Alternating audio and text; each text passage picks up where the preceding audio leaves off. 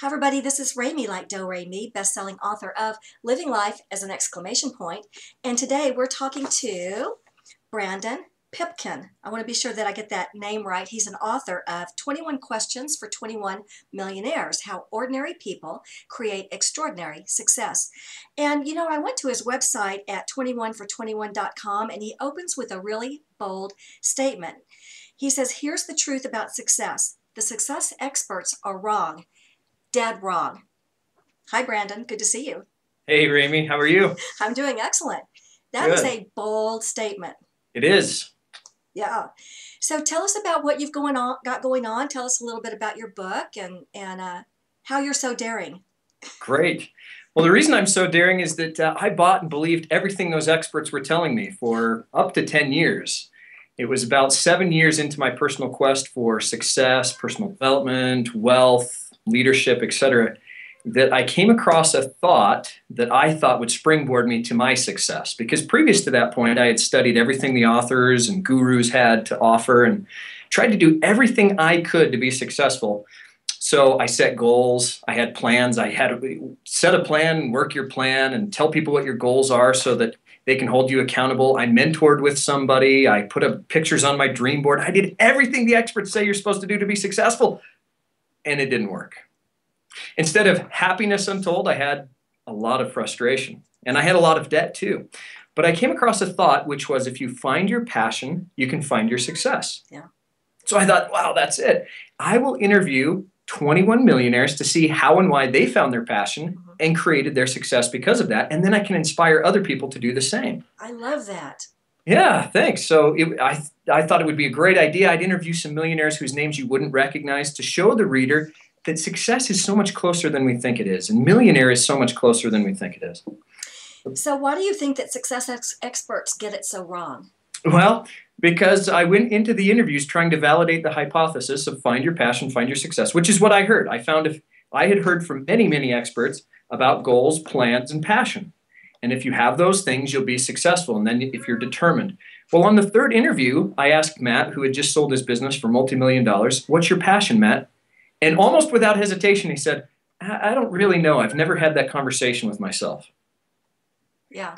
I don't know if I caught it in the interview, Remy, but afterwards I looked at it and I said he didn't have goals. That was another thing. He said, "No, I don't I didn't really have goals." And he didn't really know what his passion was. Yet he had just sold his business for multi-million dollars. And so I thought, maybe there's more than what the experts are telling us, or maybe what they're telling us isn't really the truth. And what I found by interviewing these 21 millionaires is that most of them didn't create success the way the gurus tell you you have to. Mm-hmm. So after being a disciple of those gurus, I learned the truth that they're not really giving us the full deal, the real deal. I, I don't know why, I don't know what it is, but they're not telling us how people really create success, how ordinary people create extraordinary success. Maybe they're just really good with their promotions, and so we all believe them. Uh, that may be true. That may be true. they have good marketing people, and so we buy into it. In my book, I call it uh, the tightly packaged, hyperbole filled, very well marketed systems. yeah. That's great. So, what made you want to write this book? I had known for years that I wanted to write a book, and I just didn't know what I would write about until I came across that thought of yeah. find your passion, find your success. And I wanted to write a book because I wanted to inspire other people, like these gurus were inspiring me. Yeah. I thought I, I need to share a message with people in a broad way. I need to help other people. But I didn't want to be one of those guys who just regurgitated what everybody else said. I wanted to have done something significant. I look at Stephen Covey, one of the gurus for whom I still have respect and and still think his stuff is solid. And the way he came to write Seven Habits is he took the sabbatical, he studied the success literature, and so he had learned something significant that he then shared. Mm. So I didn't want to be one a, a guy that's uh, one of those other guys that just studies what other successful people do and then regurgitate that from stage. I didn't want to be that guy. Yeah. Yeah, we know some of those guys. They stand up and they just uh, spiel off a bunch of quotations. Yeah. Yeah.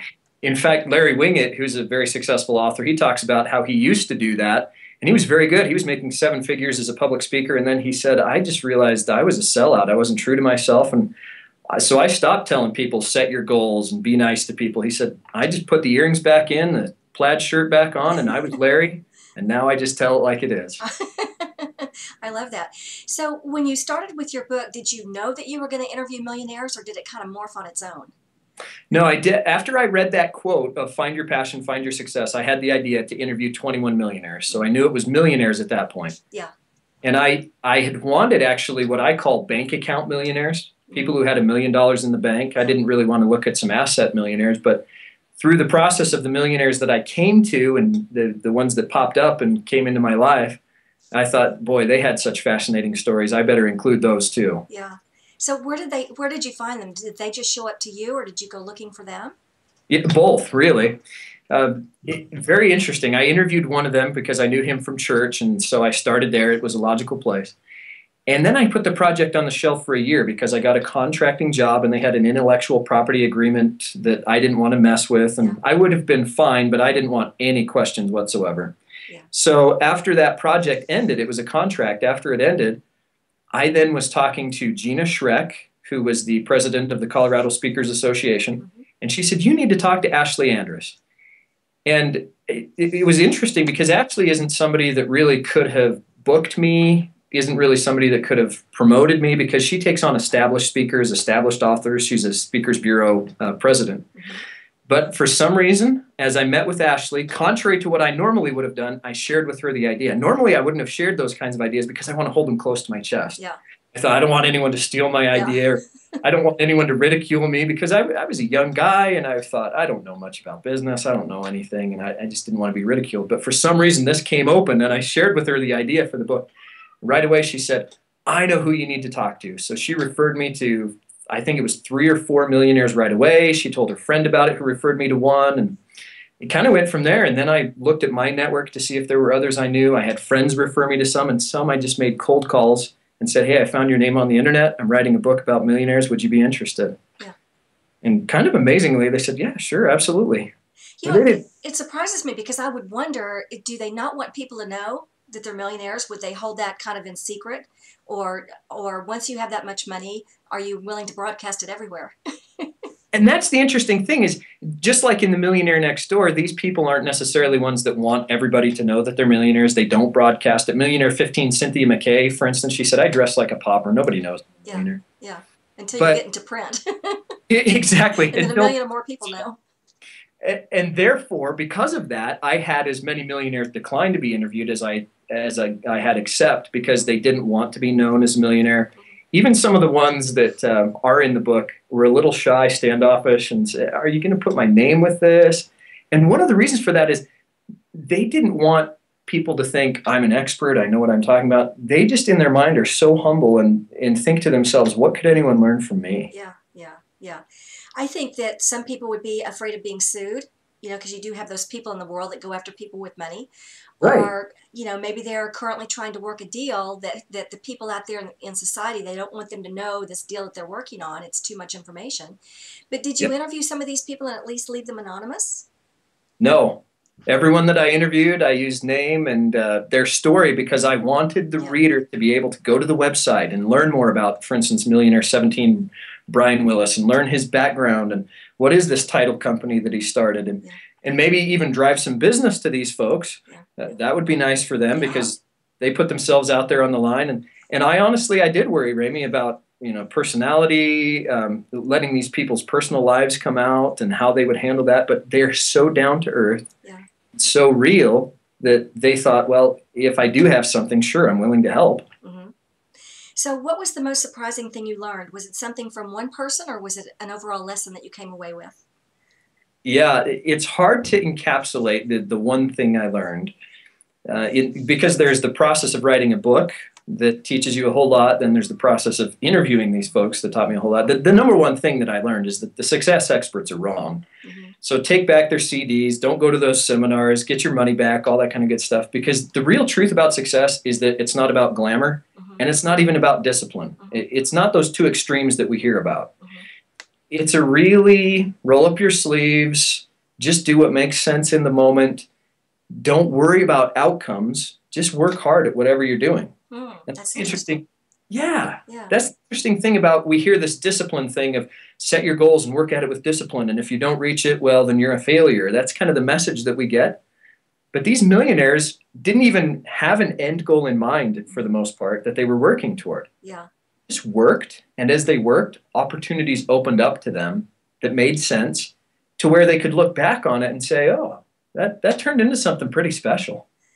You know, I, I interviewed someone in my book um, who was a top salesperson. I, she was like number three in the state or something. I forget her ranking. But I asked her, Do you ever set goals? And she said, Never. She said she's never written a business plan, that if her numbers ever begin to come down, she only looks at one thing How am I showing up in the world? Bingo. Yeah. So she only looked at, at her own, you know, moral code as her guiding post. Yeah. Wow. Yeah. Amazing. Yeah. Yeah, I, I, I'm like you. I would think that people would just set these goals. I'm going to be a millionaire by the time I'm 32, you know, yeah. that sort of thing. And some of them did. A couple of them had, I want to be a millionaire by 30 or a millionaire by 40. But it wasn't that they said that and then put a plan in place to get there. That was just kind of in the subconscious, kind of like that lady that you interviewed. How am I showing up in the world? For them, it was just kind of, okay, am I doing things that are going to lead me to where I really want to be? And it's not like they said, I really want to have a million, so am I making those choices? It was really this subconscious, mm-hmm. very demure, down to earth process. Mm-hmm. Even when you look at somebody like uh, Oprah Winfrey, I mean, she didn't have these you know huge goals when she was a young child she yeah. stayed true to what she believed in and even in the face of all the talk show um, do you remember back so many years ago when everybody was a talk show host yeah. And she refused to get into the controversy and the drama on stage and all that. She just stayed very true to what she wanted. But she never ever had a goal to become a legend. Right. Yeah. And, and how could you? Millionaire two, Jeffrey Luftig, he said, I asked him, did you ever see your business growing to the level it did or having the success you did? He said, well, it would have depended on when you asked me. Going into it, no. I saw it as a way to make some quick money and provide for my children's education but it morphs along the way. He said he used the term significant amount of money in a short amount of time, and he said, but significant changes along the way. And then he he said his next statement was, 35 to 40 uh, employees throughout the world, satellite offices flying around in my own airplane. No, I didn't see that happening. There was no way I could have planned for that. Mm-hmm. Yeah, yeah. When the opportunity shows up, you certainly do want to be ready for it. right. No, no, I don't think I want to fly on a private plane. exactly. But he never had this goal of when I'm 45, I'll be owning my own consulting company, making a $100 million, and I'll own my, I'll fly in my own plane. It, that wasn't in his cards. Yeah. What was in his cards was make a significant amount of money, pay for his children's education. Yeah. And then it was, okay, let's service this client. Let's service this client. All right, let's open a satellite office. That makes sense. Yeah. Let's hire some employees. And suddenly it's only after 14 years that you look back and say, that changed a little bit. Yeah. Now, what do you think about the idea that these people um, stayed on top of things as opposed to sabotaging their efforts? Did you see a real distinction in their character? Tell me more about that. Well, you know how some people have have dreams and aspirations and passions, and they have a really big why, but they end up sabotaging themselves at every turn. Yeah. Because of some misguided, uh, you know, it might be an old moral principle, it might be some family member, but they have they have this rock star quality within them, but they keep sabotaging their efforts. Did you find that your millionaires that you interviewed just sabotage was never part of their formula? Boy, that's a great question. Yeah. That's something I'll have to think about. Yeah. My off the top of the head answer to that is because these people were always working hard at whatever they did, they got affirmation early on that if they worked hard, good things would happen. Mm-hmm. Millionaire 18 Sean Kane said, I grew up watching my parents work hard and understood if you work hard, you can have anything you want in this world. And so, and Millionaire 8 Barry Hamilton says, I had some early wins in sports and music, and my parents helped reaffirm me that way. And so, I would guess that based on having those early wins and those good successes in life, they never had to practice positive affirmations. That wasn't something that they consciously did. And I think part of the reason for that is they already had it within them.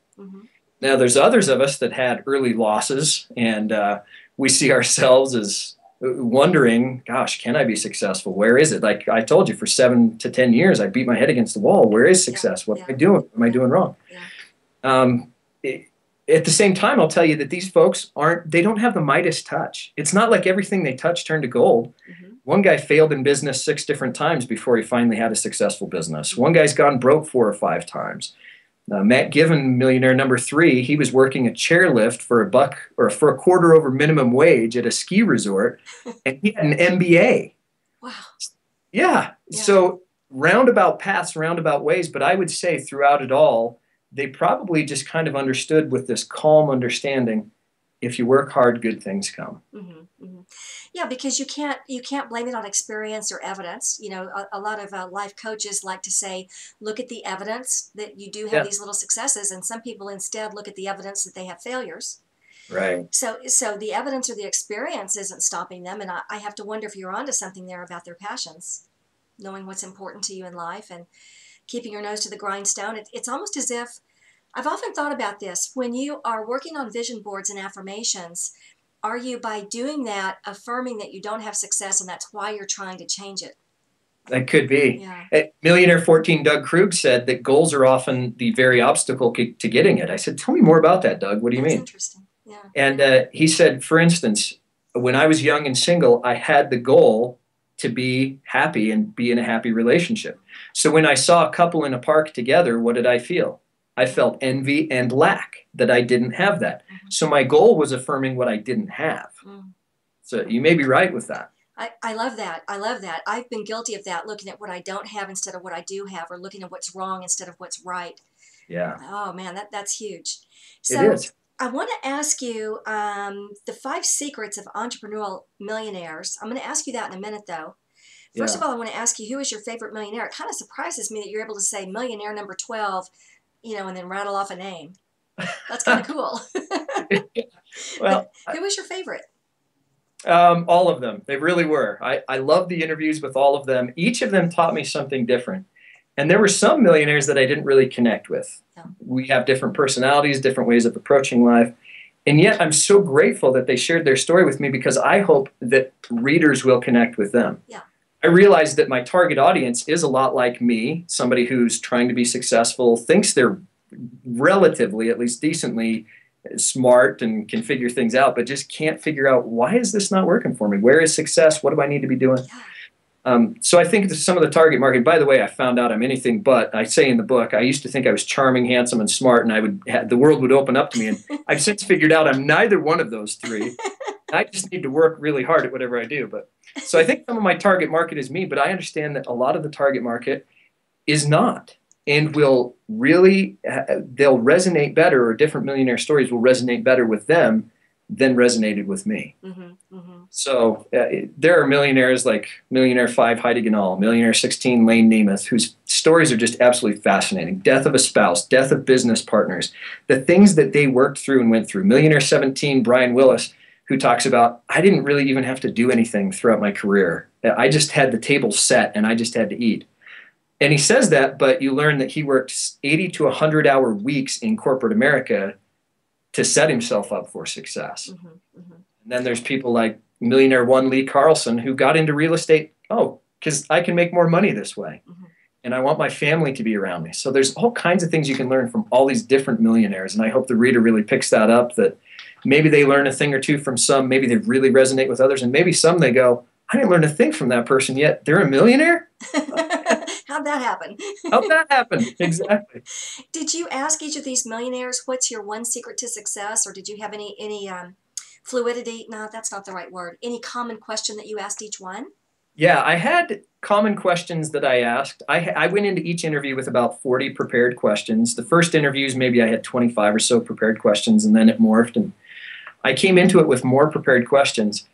But at the same time, I wanted the real truth about success and I wanted their story. So I let each interview unfold naturally, which is really interesting because one of the things that I found out about how these millionaires created success is that they let things unfold naturally. Mm, And I was doing that throughout this process, but yet I was worried too at the same time. And I talked to a friend and I said, Eric, I, I don't know if I should ask all the same questions or if I need to just roll with each interview. And in essence, he said, Brandon, just go with it. yeah. And Millionaire 5 Heidi Ganahl said the same thing. She said, just tell the story how you think you ought to tell it, and it'll work out. So I came, go ahead. Well, I was going to say if you were doing research, then you would want all 40 questions answered. But you weren't looking for research, you were looking more for inspiration. Yes, Yeah. and yes and no. Yeah. I came at it with that hypothesis, but I'm by no means a researcher. I'm no PhD. I did want anecdotal evidence. Mhm. I did want common questions. So I, I did end up asking maybe the same five or 10 questions of everybody. Mhm. And so I got different perspective from different millionaires. And I found some commonalities because of that. And then the other questions throughout the interview, I just let happen naturally and unfold naturally. And I, I asked each of them, I probably ended up asking each of them anywhere from 21 to 50 or 60 different questions and then i chopped it down into the book to make it more palatable and readable. Yeah. Did anybody ever say enough with the questions already? No nobody did. That's cool. After, after about two hours and 15 minutes though sometimes we had to say okay that's that's probably enough for today. Yeah yeah. So it, it wasn't that they were itching to, to move on. In fact most of them were very happy to spend the time and um, and it wasn't as if they they felt honored that they were part of this book, but they were just real people sharing. If you want to know, here's what I got. Yeah. Maybe you can use it, maybe you can't, but I'm happy to spend some time with you. They probably wish they'd had mentors to do the same for them. One of them did. Millionaire 20 Rob Emmerich, he said, I really wish that I had some better mentors in social entrepreneurship yeah. because that's just not there. Yeah. And I said, Well, you know, Rob, actually, none of these millionaires had a formal mentor. They all had maybe groups of people or one or two people that they would rely on, but it's not as if they said, This person's my mentor and I'm their mentee and I come to them when I need advice. They were really informal. Mm-hmm. So, what did you learn aside from letting things unfold? What did you learn from interviewing 21 millionaires? Yeah, so those are maybe those those five secrets, or yeah. I call them the four commonalities and the bonus commonality that the millionaires share. Number one, work hard. Mm-hmm. And uh, I, I don't know that I came into the interviews. I certainly didn't actually come into interviews knowing I would learn that that was one of the things that made them successful. It was through the interviews that I was able to see and realize these people worked hard whatever they were doing. 17 of them have a bachelor's degree or higher. 19 of them have some college or more. So they worked hard no matter where they were, no matter what they were doing. Mhm. I- And I, I bring up education to show that even in their young life, they understood work hard now, things will happen later. Some of them had paper routes, or John Simcox, Millionaire 12, was a farmer and he went down to the city market or city square and sold corn there and all kinds of different things. So they all worked hard. They continue to work hard. Whatever it is they're doing, they just put in the effort. And Did, did any of them mention that um, you want to let your money work for you, or was, was there a point where they shifted from working hard to letting their money work for them? Any comments about that? no, none. They In still fact, work all- hard. they still work hard. Yeah, in fact, uh, Millionaire 21, Richard Zuschlag, he is the chairman of Acadian Ambulance, a very successful ambulance company in Louisiana, and they've branched out into Texas. And uh, the man at any point could say, Thank you, it's been fun, I'm done. But he continues to work hard because he loves the people he works with and wants to make a difference for them. Mhm. And that's a very similar story with a lot of these millionaires is they love the people they work with. Millionaire um, 19 Judith Briggs talks about how these are her family. Her employees are family to her and she loves being around them and being with them. Mhm. And so maybe some have slowed down in their later years. Yeah. But uh, you could their slowing down is probably most people's full out effort. now, what do you think now that you've interviewed them and, and looked at their success? Do you think um, uh, do you think they have a passion for what they are currently doing, or that they found their life purpose, or do you think it really is this work ethic? In other words, could they pick up another business and be just as successful? Both. It's absolutely both. Millionaire 18 Sean Kane put it best when he said, I fell into the profession that I'm in and it became my passion. Oh wow, okay. Again, I had heard you have to find your passion, you have to know what you're passionate about, then you can be successful. And in fact, I spent some time thinking to myself years and years ago, what is my passion? What is my passion? And for a while I thought, well, it's helping people live healthy lives. So it's nutrition and it's proper um, education and it's exercise and things like that. Well, that's actually not my passion. That's something I like to do, yeah. But what my passion, my real passion, is helping people and spreading the truth Mhm, about how they can be successful. So, how did I find my passion? I fell into it mhm, by writing this book. I was down another track and thinking something else would be my passion. So, these folks, by working hard, found that passion. Now, Millionaire 17, Brian Willis says, in essence, through the conversation, it kind of comes out that, yeah, working hard is his passion. Mm-hmm. that's what he's passionate about. So it doesn't matter what business he was in. And in fact, he he was in finance and then he went into a different kind of a role within a company. And then he went into the title insurance industry and then now he's a business owner.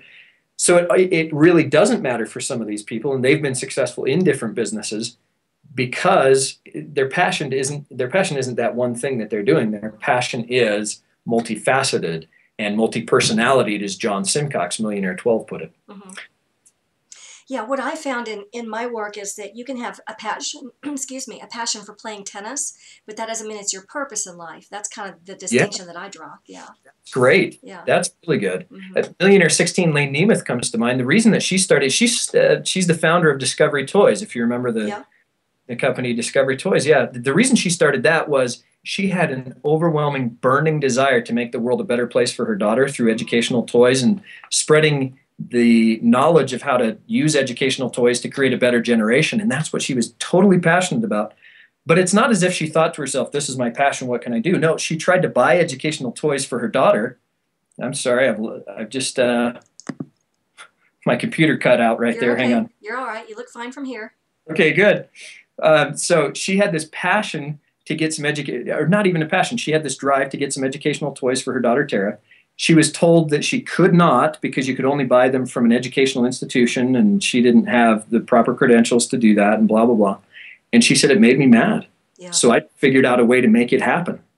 And it was that burning desire to create a better world for Tara that put her on the path that she was on. Yeah, yeah. I love that. It's a fine line between anger and a burning desire. right. it sure is. Line. Yeah. Yeah, and she's a very passionate, very emotional person. Yeah, yeah. And I asked her about that. I said, you, "You're very passionate, very opinionated. Has that helped or hurt?" She said, "It's it's helped. Strong opinion is good for a CEO, but I also listen. Yeah, and not afraid to engage in discussion and change my mind when somebody brings information that's helpful." Mm-hmm. That's good. That's good to know. So number one is work hard. What would number two be? Number two, I call it line upon line or some people might think of it as step by step. Line upon line makes the most sense to me because, again, these people didn't begin knowing where the end goal would be, or they didn't have something they were even shooting toward. Again, Lane Nemeth, Millionaire 16, it's not as if she said to herself, I will sell Discovery Toys for millions of dollars to the Avon Corporation after X amount of years. Yeah. It just wasn't in her mind. Instead, she said, I need to buy educational toys for Tara. How can I do that? Mm-hmm. Okay, there's a toy show coming up. Maybe I should go to that toy show and see what they have. Oh, they don't have anything. It's all garbage. Okay, how can I create some toys then? Uh, okay, now how can I market some toys? Now that I have a few toys, how can I market those toys? Um, now that we're selling some of these toys, I guess I better get in some management in here who can really work this thing for me. So it was that step by step, line upon line progression of all right, we're here. What's the next piece? Mm-hmm. Okay, how do we get there? Mm-hmm. Mm-hmm. Uh, so that by that means life unfolded naturally. Yeah. And that's what used to frustrate me about goals was I only made three goals in my life ever come true, and maybe a couple more now, but uh, which was getting my degree, writing a book, and things like that. But but before that, the only goals I ever were able to have come true, one of them the rug got pulled out from underneath me because it was a financial goal. And then at work, they changed our commission structure. I was a sales manager. They changed the commission structure so I couldn't make that money anymore. Yeah. It was so disheartening. And people yeah. say, well, did you reset the goal? I said, no, what would I reset it to? Less money? I couldn't feel good about that, but that's the reality of where I would have been. Yeah, so many people beat themselves up in the last few years because of the economy as if they were in control of what the economy did. You, you know, sometimes it. you find yourself under a market condition that you really didn't, you know, didn't control. There you go. And Millionaire 11, um, Mark Sanborn, he talked to a guy who's in infomercials, and the guy said, in essence, what can we do with this housing market thing? We didn't create the mess, but what can we do? And so they're doing programs on foreclosures and things. Yeah. And the way that Sanborn puts it, he said, they didn't create the mess, but they figured out how to roll with it and how to make money in it. And if we could all do that, if we could all just get, we don't, if, if we're locked into these goals and these plans, we're not aware enough to take advantage of situations around us. Millionaire 20 Rob Emmerich, who is a planner and he does start everything with a plan, is also aware enough to say to himself, maybe this plan needs to change or maybe the goal needs to change and doesn't yeah. lock himself in. It's the classic can't see the forest for the trees. Bingo. So if you keep one eye on the goal always, to me, you almost need to be um, flexible enough to change your vision as you go. Yes. Yeah. That's exactly right. Based on what you see from the new perspective.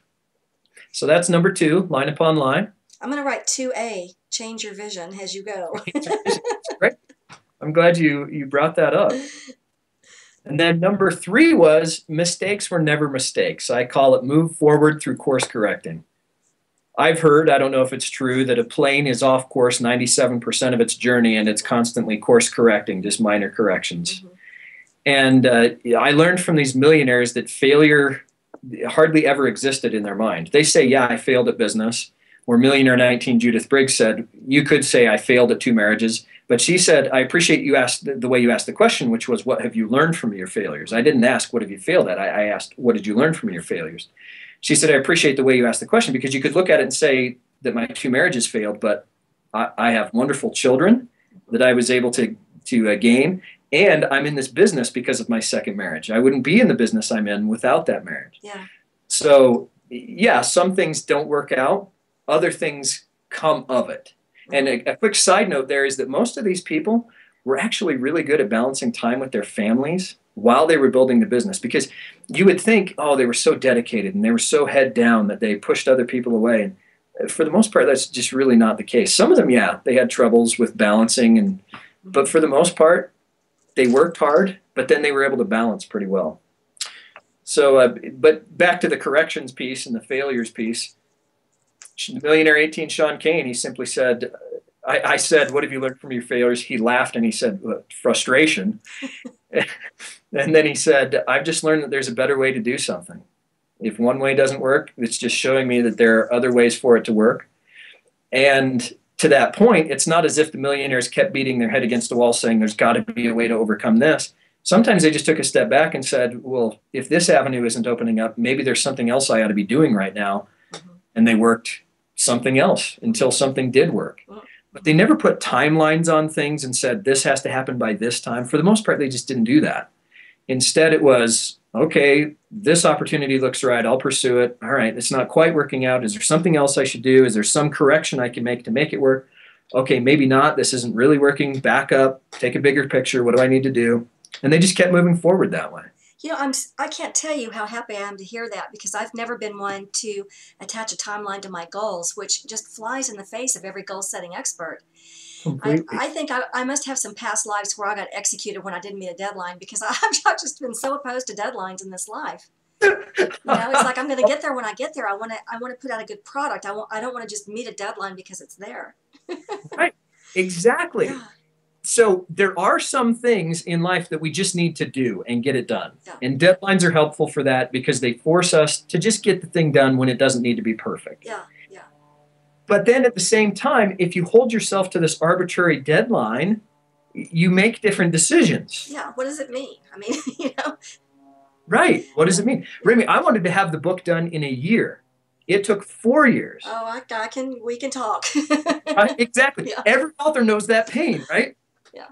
And so one of the millionaire's wives, as she was recommending me, uh, this was Millionaire Seven Vance Andrus. What a fascinating character he is. His wife referred me to Millionaire Twenty One, Richard Zuschlag. They had been acquaintances within the uh, Lafayette, Louisiana community. And she said, "Well, what's your timeline to finish this thing?" And I told her last January. that was that was years ago that I said my timeline was last January. But then I followed it up with one thing I learned from your husband and these other millionaires is it, it, don't worry about the timeline. Things will unfold. That's point number two. Things will unfold as they're supposed to unfold, mm-hmm. and you just roll with it. Mm-hmm. Doesn't mean I don't get frustrated. Doesn't mean I don't want to have things happen in a certain time frame, but I'm not in total control. Yeah. I don't I don't set my goals by timelines. I may I may plan out my week for what I want to get done on a timeline. But yeah. yeah. sometimes there's something magical that, that needs to happen or some connection that you need to make that they're not ready to connect with you yet or some piece that you're missing. I mean, my I don't know about you, but my book morphed through three different completely different personalities before the actual theme came to the surface of what it was supposed to be. Really? Yeah. So if I'd stuck with my original deadline and my original concept and my original title, it, I mean, it, it would have been yeah. a flop, and there there would have been one more failure on my plate. there you go. Yeah. And one more temptation to look at it and say, well, maybe I'm not supposed to write a book. Yes. And... Yeah. Yeah. All right. So we've got work hard, line yep. upon line. Um, I put in my own change your vision as you go, so don't let me quote that. Mistakes are not mistakes, and we're ready for number four. Number four, unique path. Boy, I used to get so frustrated, Remy, when I would read the success advice. Mhm. And I noticed that after a while, I, I kind of figured out two different things happen in those books. Number one, they prescribe step by step, this is what you need to do. Mhm. And that didn't work for me. Or number two, it's so vague in general, like have a positive attitude, uh, The right It- mindset. get good at networking. Yeah. It's your thinking, thinking, those kinds of things that are so broad and vague that, okay, I guess if I'm positive, good things will happen. Attract things into your life that you want, you know, the attraction theory. And, Yeah. and that, neither one worked for me. I, I wrote down what I would do with a half a million dollars. I wrote down what I would do with a million dollars. I was told you probably never have a half a million or a million dollars if you don't know what you would do with it. So I wrote down what would I do with it. And so in these success advice and and success books and CDs and all that kind of stuff, they can tend to prescribe a path and say, if you do X, Y will happen. Mhm. Millionaire 20, Rob Emmerich put it so well when he said, a lot of people in life want that. A lot of people in entrepreneurship want that. If I do X and Y, Z will happen. And he said, life's just not like that. And entrepreneurship is certainly not like that. That's, and it, see, all these four points, they tie together. That's that line upon line and course correction through, or mistakes aren't mistakes. And you just course correct and move forward they found their own unique path, all of these millionaires did, because they didn't try to follow somebody else's blueprint for success, which is actually what I was trying to do when I started writing the book. I wanted to give other people a blueprint. One of the, the one of the su- uh, success gurus, whose stuff I there's some of his stuff I still kind of like, but he said eh, success leaves tracks. Yeah. And it always made sense to me, and I thought if I can follow those tracks, I'll be successful. Yeah. But it's not as if I can pattern my life. And that's why I'm very careful in the book. I say these are commonalities the millionaires share. I don't even call them traits. Yeah. Because I don't want somebody to say, okay, if I do this, if I do this, if I do this, boom, I'll be successful. Yeah. Which is actually point number five. Wait a minute, before you go there, I know, we didn't it's the unblueprint that you need to follow. exactly. I like that. But you They took their own unique path to success. yeah, It's not as if somebody could look at their story and say, oh, okay, I can do what Millionaire 15 did, Cynthia McKay, because I can do this and this and this. Yeah. You can't because her story is unique, her path is unique, and it's supposed to be. yeah, God put us on this planet as unique people, and we're supposed to fulfill unique missions. you know when I when I was doing my interviews, I I started off interviewing regular people to find out what they wanted to know from the super successful. So Yeah. I too had my list of 40 and 50 questions that I was trying to, to work on. And as I was interviewing the top salespeople and other, you know, successful people, I, I noticed they wouldn't answer my question. And I began to see this uh, pattern where uh, what I called it beingness versus doingness. They didn't want to talk about here's what I do because you can't possibly emulate me and expect to have the same success. But Right. when you know who you are in your heart, when your beingness is squared away, when you have a, a moral code or whatever's important for you, that's Yeah. where the success is going to come. And that, that to me was a fascinating turn. That was my third morph. That's when I knew knew what the book was supposed to be about. There you go. And you wouldn't have gotten to that point without being open to that Yeah. and paying attention to what you were hearing and the feedback you were receiving from these people. But what sent you on that quest was that genuine curiosity and that desire to help other people. Yeah, but you know what I'm thinking, Brandon? This is interesting. So many of us these days live in tract homes. I know I do. It's a beautiful home, but it's a tract home. But you Right. think about that one house up the street that's a custom home that Right? did not have the same blueprint as everyone else. Isn't it usually the more beautiful home? Of course it is. It's unique. Yeah. So, yeah. and yet in our lives we try to pattern off of other people. Now some of that isn't bad because we we want to know what is success, how do you become successful? And if we can emulate some of those things, okay, we want to do them. Yeah. But if that gets in the way of paying attention to what life is trying to tell you, if that gets in the way of what that inner spirit, that guidance is trying to tell you, then you're going down the wrong path. Yes. It's almost like we're trained, so many of us, to not listen to our inner voice. How did that happen? Millionaire 8 Teresa Zurich, or Millionaire 9 Teresa Zurich, it tells us how that happened. In business, in school, we get it beaten out of us. Yeah, yeah. It's an amazing thought if, if children could just be children and explore who they are and be exposed to so many different things, and yet we tend to want to pigeonhole kids at a, at a very young age. You're so right. Yeah, You're so right. And as you say that, I start thinking, I better not do that with my kids. I- I'm thinking through consciously, am I doing things to pigeonhole them? I hope not. Well, you know, I've told the story before uh, about a fellow that I interviewed who, who well, um, he's the one I mentioned earlier that also has five children. Yeah. Uh, very successful financial planner, but he said when he was very young, I think he said he was seven or eight, he went to his dad, who was sitting in his easy chair, and said, Dad, why are we here? And his dad, like, crushes his beer can and says, Don't bother me, boy, and shoos him away. So he goes into the kitchen and asks his mom, Why are we here? And his mom said, Oh, honey, don't question God.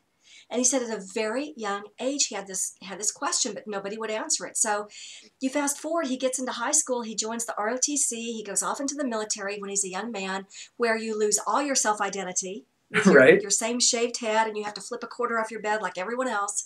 You're not allowed to think for yourself. You follow orders. You get this training. And when you come out of the military, what are you going to do with that training? Well, now you're going to go get a job because you're trained. And before you know it, you become very robotic Yeah. and he said the thing is, he said at his age, which has got to be, I think he's in his late 40s, early 50s now, he said, I don't have the luxury to stop and look at what I'm supposed to do or who I'm supposed to be. Oh, right. You know, I've got this path that I've been on and I can't possibly get off it now. I have a family to support. Right. Yeah. Yeah, That's uh, so glad you brought that up. That's one of the things that we have these financial realities Yeah. and we have these obligations that we need to take care of. And that flies in the face sometimes of these success experts who say, Oh, just find your passion and you can be successful. Just turn that into what you want to do, and the life will open up and things will happen. And not always.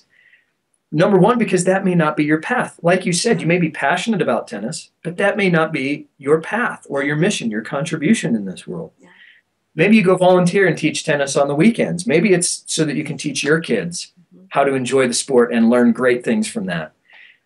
These financial realities do exist and we have to work with them. And that's why I love the stories of these millionaires too, because they didn't just throw caution to the wind and say, oh, I'm going to do what I feel is right and what I really want to do.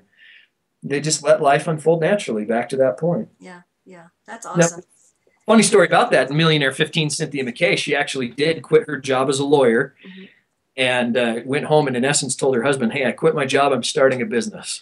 Oh, great. And, Yeah, isn't that great? And I thought to myself when I heard her, she had given a previous interview that I listened to where she said that. And I thought, okay, probably not a big deal because her husband was probably working. And so she kind of had that to fall back on. But then in the next part of that interview that I listened to, she said, and we were $200,000 in debt because we're both lawyers. We had just, we had a home mortgage. We had just been married within the year and we had two car loans. Student loans, probably. Oh, gosh. Yeah.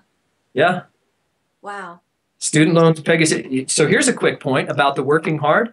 I've got a friend who's incredibly successful, and I keep asking him, Eric, what are you doing? How are you being successful? What are you doing? And he's very humble.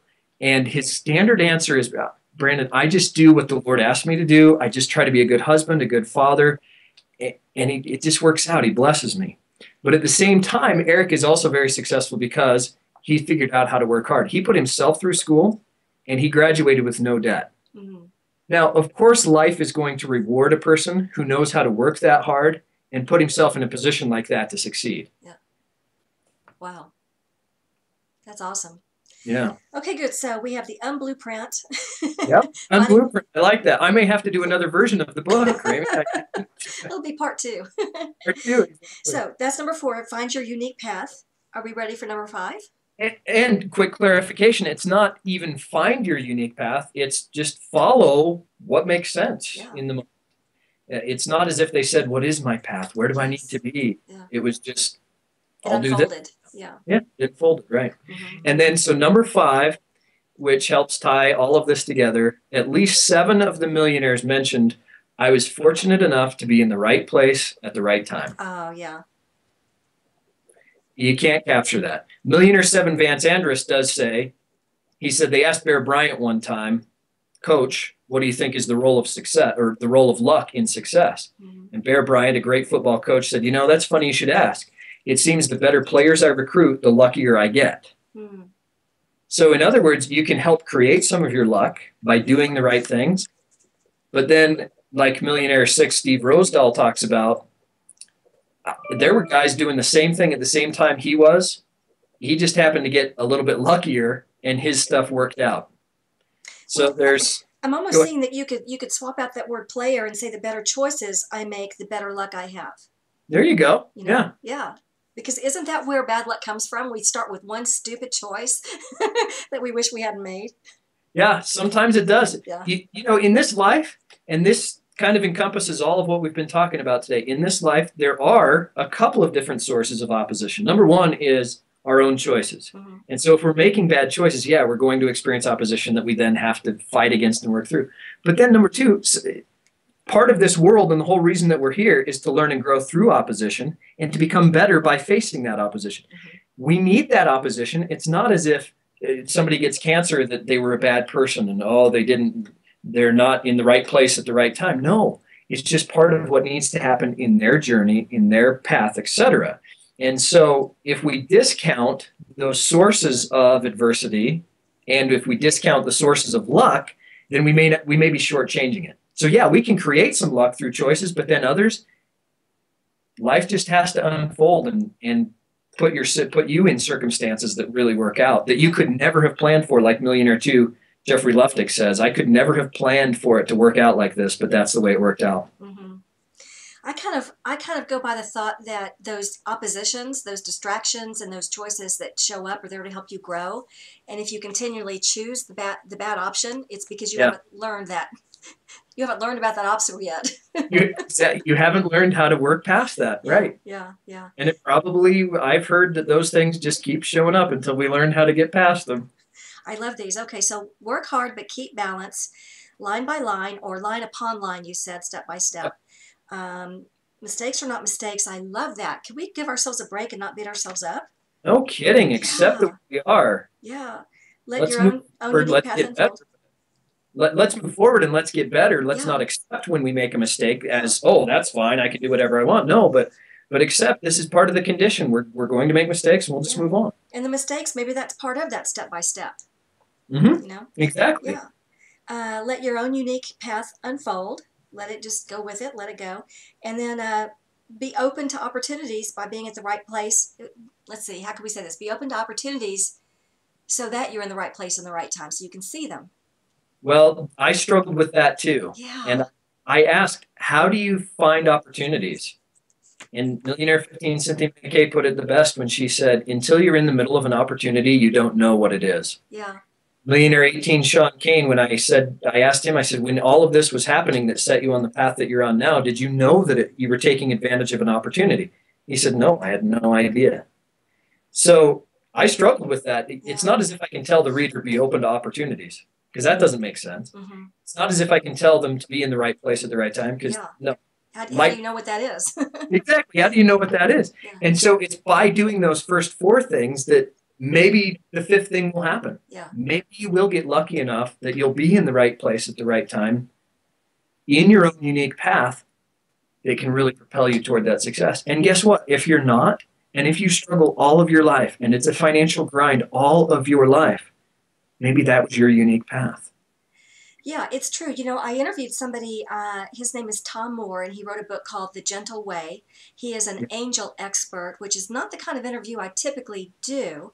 But what caught my attention is that he says he has the one spiritual tool that's the most important, and that is to always ask your guardian angel for the most benevolent outcome Yeah. for yourself and everyone around you. And he says the way it works, in his opinion, is that we have this network of guardian angels for this whole planet and the whole universe, much like a cell phone works in this honeycomb.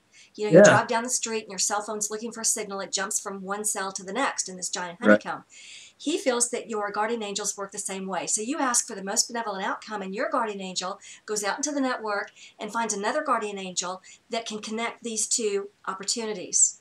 Yeah. So I'm seeing by some of these things about being open to your u- unique path, you know, being willing to change your vision and all these things, maybe that's how you allow some of these opportunities to come your way. Yeah. Yeah.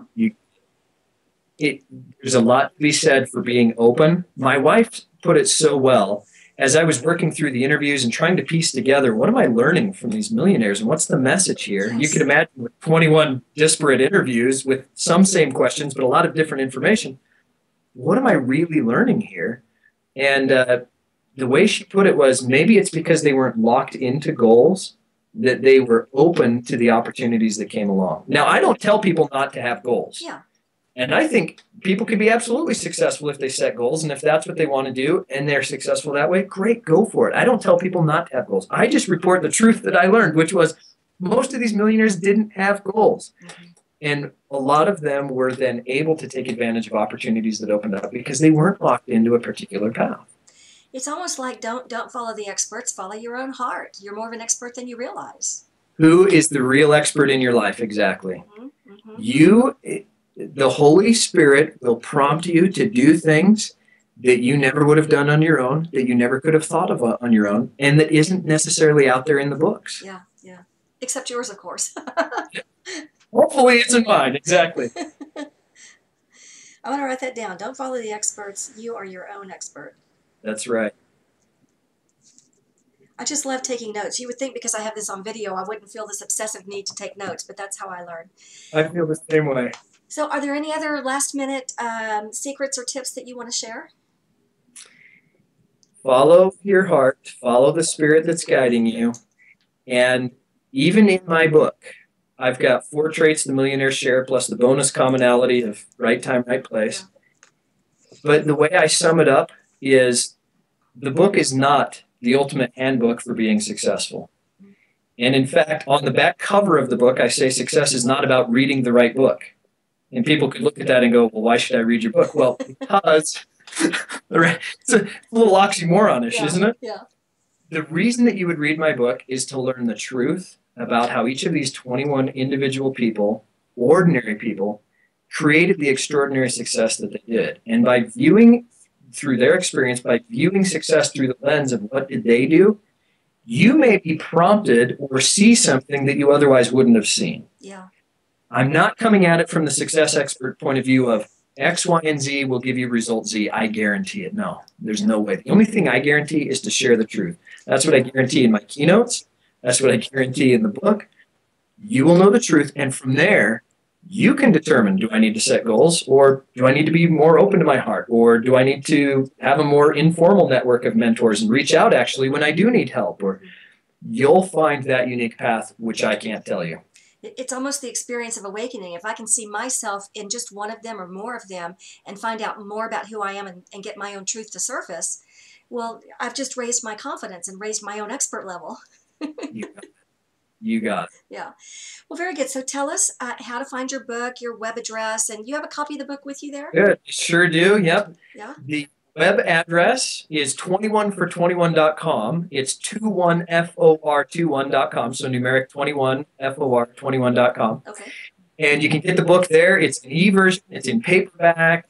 21for21.com. This is the book, pictures of millionaires on the front so you can see they really are ordinary people. In fact, I had a friend tell me, that guy who is a spine surgeon, I, I just thought he would probably look different. He was a very high caliber spine surgeon and millionaire uh, 10, J, uh, John Odom, Jackie, Jackie is what goes by, Jack Odom.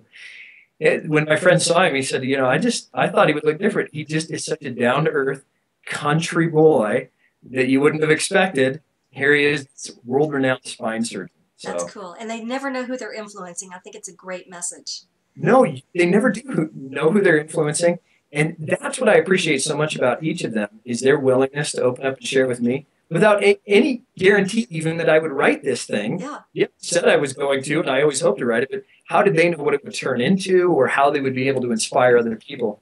And so I hope that they really are able to inspire lots of people who read their story. Well, thank you for playing a role in that. And thank you for doing this project. I think it's a, what a great idea. Thank you. Yeah. I appreciate that as well as yours is too. Yeah, thank I'm glad it's doing the same thing, inspiring others and helping them really understand the truth. Yeah. We're we're living our mission, aren't we? I hope so. And it could morph and change. In 10 years, we could be doing something totally different. This is what we're doing right now. And in 10 years, this could have been a, a, great platform to set us somewhere else where we can make the real impact. Who That's knows? Right. You never know. You just never know. You got to stay open. Well, thank you for your time today. We're going to end the call right here, but stay on the line for me, okay? Great. Thanks, Remy. Thank you.